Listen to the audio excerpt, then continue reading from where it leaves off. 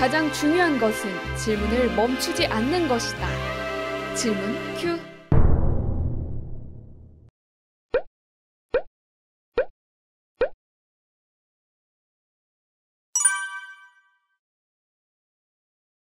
생명의 뭐 기원 뭐 그런 것을 어떻게 알아낼 수 있을까? 뭐 우주를 연구하다 보면 저희들이 사실 하는 것 중에 하나가 이런 겁니다. 그러니까 결국 생명체를 이루는 구성 원소나 분자들이 어떻게 만들어졌을까? 그렇죠?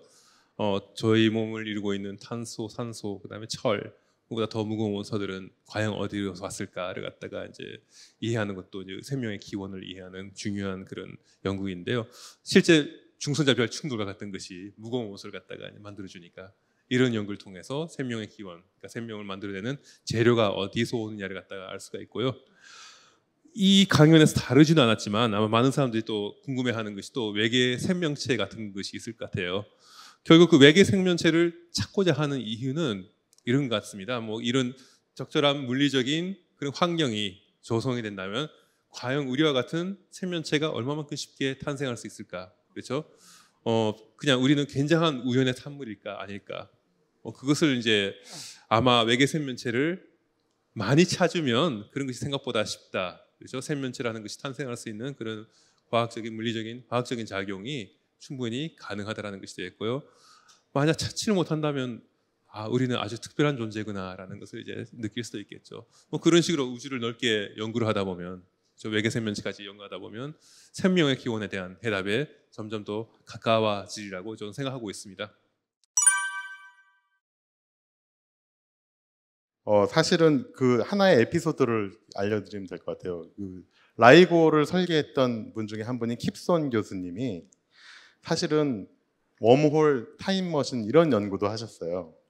그래서 인터스텔라의 그 시나리오도 자문을 하셨잖아요. 거기 영화를 보시면 어, 예전에 어, 컨택트라는 영화가 있는데 칼 세이건이라는 천문학자가 쓴 소설을 영화로 만든 거기에도 웜홀이라는 주제가 나오고 그때 그 소설을 썼던 칼 세이건이라는 천문학자가 이 킵선 교수님하고 친구분이었는데 자기 소설에 있는 이 웜홀이라는 얘기가 실제 이론적으로 가능한지를 연구를 해달라고 부탁을 했어요. 그래서 그때부터 웜홀이라는 걸 연구를 하셔서 아인슈타인의 이론이 이론적으로는 가능하다라는 식으로 이제 결론이 내려졌고 궁극적으로 그 영화의 워몰이라는 주제가 나오고 인터스텔라에도 사실은 뭐 차원 여행, 시간 여행 이런 얘기들이 나오는 이유가 킵선 교수님이 이제 상상을 하시는 거죠.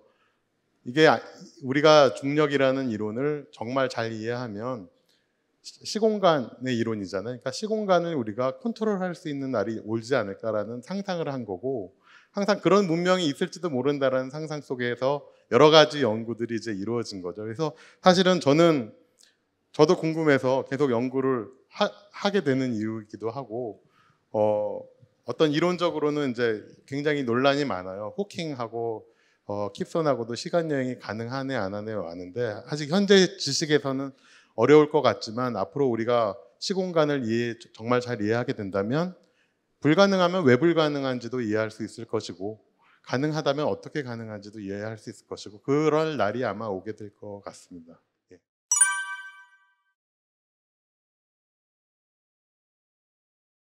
이제 임명식 교수께서 설명해 주셨듯이 우리가 우주를 이제 봤을 때 크게 봤을 때는 균이라고 등방한데요. 근데 실제로 가까이 보게 되면 실제로 어, 그렇지 않습니다. 그렇기 때문에 지구도 있고 태양계도 있고 어떤 천체가 존재하게 되는데 이건 옛날 얘기를 좀 돌아가다 보면 이제 우, 옛날에 천문학자들이 우주의 온도를 쟀는데 우주의 온도가 평균적으로 약 섭씨 마이너스 270도라는 걸 밝혀냈어요. 근데 우주의 온도를 이쪽을 재고 저쪽을 재고 해봤더니 우주의 온도가 거의 비슷한데 더 관측 기술이 발달함에 따라서 보니까 우주의 온도가 약 100만 분의 1도가 조금씩 다르다는 걸 찾아냈어요. 그래서 약간 우주에 뜨거운 부분이 있고 차가운 부분이 있다. 근데 그 차이가 굉장히 작다. 그 사람들이 과연 이게 무슨 일 때문에 이런 일이 벌어졌을까?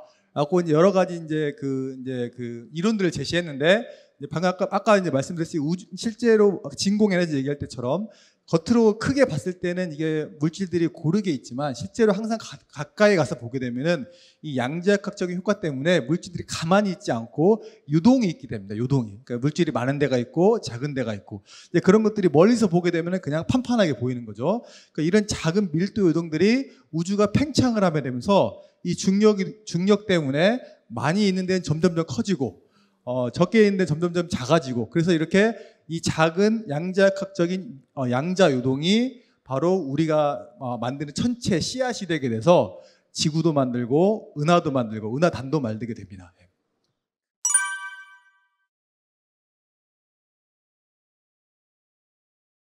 보통 이제 방금 그 빅뱅 우주론이라고 하는 건 이제 우주가 빅뱅에 시작을 했다고 하는데 보통 이제 우리가 얘기할 때는 빅뱅이 있으면서 시간과 공간이 생겨났다고 얘기합니다. 그러니까 이제 빅뱅 이전에 무슨 일이 있었느냐 시간을 논하는 거는 그러니까 시간이 그때 생겨났기 때문에 시간이 어, 무슨 일이 있었나 얘기하는 거는 시간 자체의 개념이 없기 때문에 답을 하기 어렵고요. 근데 아까 말씀하셨듯이 빅뱅 이전에도 다른 우주가 있, 어, 있을 수 있, 기 때문에 또 다르게 대답을 할 수 있고요. 그럼 우주가 우리가 이제 뭐 이렇게 클 텐데 그 우주 뒤에는 또 뭐가 있습니까라고 질문을 많이 하시는데 우리가 답은 보통 이렇게 합니다. 우주는 무한합니다. 무한하기 때문에 우주의 boundary 경계를 우리가 정의할 수 없는데 우주는 무한하지만 실제로 우리가 관측할 수 있는 눈으로 볼 수 있는 우주는 한계가 있습니다. 왜냐하면 빛이 우리한테 다가오는데 시간이 걸리기 때문에 그래서 이제 우주의 나이만큼 우리가 이제 빛을 보게 되는데 그렇기 때문에 실제로 답을 하게 되면은 우주 바깥에 뭐가 있냐고 답을 하면 우주는 무한하기 때문에 그 질문에 대한 답을 하기는 이제, 어, 이제 질문 자체가 안 되는 거죠. 예. 뭐 약간, 약간 보충 설명하자면 이제 우리가 관측할 수 있는 우주가 있잖아요. 그 너머에도 은하나 그런 것들이 있습니다. 저희가 보지 못할 뿐이에요. 예, 그래서 지금 저희가 옛날 과거의 은하를 보고 있잖아요. 그 어떤 것들도 아마 지금 현재 모습을 영원히 못 볼 가능성이 많습니다. 우주가 가속 변창을 하고 있기 때문에 그렇게 생각하시면 되겠고요. 우리가 알고 있는 이 무한한 우주 말고도 또 다른 우주가 있지 않을까? 뭐 평행 우주라는 말이 많이 나오긴 하는데 뭐 이론적으로 실제로 이제 그런 우주를 뭐 이론적 가능하다라고 사람들이 있긴 있는데요. 모르겠어요. 저는 솔직히 말해서 예, 뭐그 밝혀내기도 힘든 일이고요. 아까 그 암흑 에너지 얘기를 물어보셨잖아요. 이게 다 재미있는 질문들인데요. 음, 암흑 에너지는 안타깝게도 너무나 티박하게 공간에 퍼져 있고요. 그것을 모을 수 있는 방법이 없어요. 예, 그래서 아마 사용하기는 힘들 것 같은데 뭐 재미있는 일화는 어- 뭐 믿거나 말거나 그런 일화 같은 것인데요. 뭐 그 암흑 에너지를 연구하는 학자가 암흑 에너지라고 에너지를 붙인 이유가 아마 그 미국의 디파트먼트 에너지라고 있죠. 거기서 연구비를 따기 위해서 그런 식으로 얘기했다. 뭐 그런 얘기는 있습니다. 그래서 먼 훗날에 혹시 가능할지도 모르겠지만 현재로서는 가능한 방법으로 생각할 수는 없어요. 네.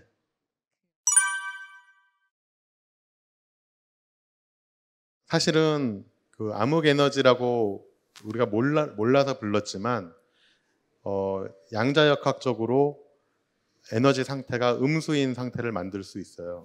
그걸 이제 캐시미르 효과라고 하는 건데 실제 두 개의 금속판을 붙여놓고 전류를 흐르면 이 판 사이의 에너지 상태가 음수가 돼요. 그러니까 그게 약간의 뭐 암흑 에너지와 유사한 에너지 상태를 이제 양자역학적으로 구현한 거라고 이제 뭐, 뭐 말할 수도 있고 아닐 수도 있어요. 근데 그런 어떤 우리가 모르는 이론상에서 어, 어떤 그런 암흑 에너지와 유사한 상태들을 만들어낼 수 있고 그게 공학적으로 이용이 가능하다면 뭐 스케이트보드 그런 거는 충분히 먼 훗날 아니면 가까운 미래라도 할 수 있을지 모르죠. 근데 현재 기술로는 그거는 사실은 이론조차도 모르고 있고 어떻게 생성되는지를 모르기 때문에 현재로서는 조금 가능하다고 말씀드리기는 어려울 것 같아요.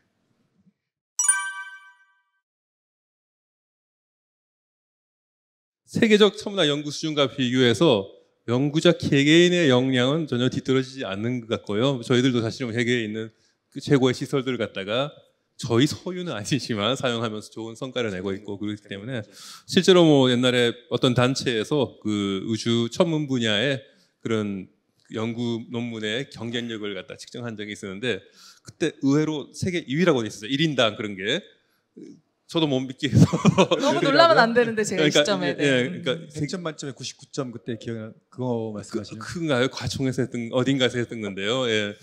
뭐 그래서 깜짝 놀란 적이 있었습니다. 근데 뭐 1인당 그런 능력이니까 그러는데요. 뭐 다른 또 서포팅하는 인력까지 다 합치면 외국에는 그런 사람들이 많기 때문에 그런 차이가 날 수 있다는 생각을 했었는데 아 그 연구 역량은 좋구나 그렇게 생각하고 있습니다. 우리나라가 좀 지지고 있는 분야는 이제 그 장비 쪽이에요. 그러니까 허블 우주 망원경이라든가 뭐 세계 최대의 망원경이라든가 그런 것을 만들 수 있는 나라는 굉장히 부유하고 뭐 과학적으로도 많이 발전이 되어 있고 그리고 오랫동안 중력파 같은 경우에는 50년을 계속 끌으면서 예, 솔직히 제가 이제 90년에 유학을 갔는데 그때 중력파다 생각했었어요. 그런데 보니까 아무래도 논문이 안 나올 것 같아서 제가 그거 하면 밥 벌어 먹기 힘들겠구나 해서 이제 다른 분야를 했고요. 예, 이제 했지만 예. 그렇게 그 오랫동안 그 과학을 갖다가 지원해 줄 수 있는 구조가 있는 곳에서 이제 가능한 일이니까 우리나라는 그 점에서 뒤지고 있는데 다만 이제 세계적인 추세가 거대한 시설을 이용해서 함께 연구를 하는 시기거든요. 결국은 한 나라가 다 못 만드는 거예요. 아까 거대 마젤란 망원경도 결국은 여러 나라가 합쳐서 하는 것이니까 그런 식으로 우리나라도 이제 좋은 시설을 갖다가 보유하게 되면서 좀 더 자유롭게 관측 연구를 할 정망이 진짜로 있는 거니까요. 점점 그 격차는 좁혀질 거라고 생각해요. 뭐저 이번에 이제 중력파 연구를 하면서 8월 17일부터 거의 쉴 새 없이 뭐 밤늦게까지 연구하고 그래가지고 스트레스를 많이 받았는데요. 그때 때마침 TV에서 제가 그 전에 이제 왕자의 게임이라는 드라마를 보고 있잖았는데 뭐 그런 거 보면서 스트레스를 풀죠. 예. 굉장히 현실적인 답이 나와서 저 너무 깜짝 놀랐습니다. 네. 새로운 발견이 있을 때마다 막 희열이 있다 이런 걸 기대했었는데. 아, 네. 물론 당연히 있는 거고요. 네, 네, 네. 그럼 디폴트라고 말씀해 주셨고요. 네. 혹시 또 뭐 말씀해 주실 게 있을까요? 예, 어, 저도 왕자의 게임을 최근에 시작했습니다.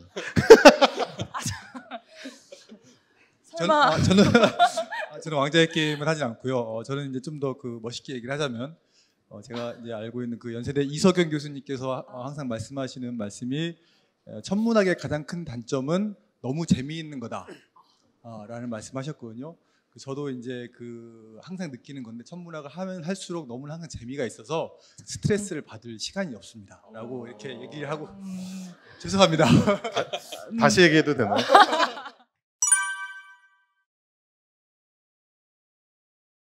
어, 제가 학, 학생 때 잠깐 발을 이렇게 발가락만 걸쳤다가 이렇게 빨리 빠져나온 분야 중에 하나인데 어, 홀로그램이라는 게 뭐냐면 여러분들이 보시다시피 그러니까 그림자라고 보시면 돼요. 동굴에 비치는 그림자. 그래서 실체는 여기 있지만 우리는 동굴에 있는 그림자를 보는 그런 우주. 그림자가 그냥 우주인 거예요, 우리의.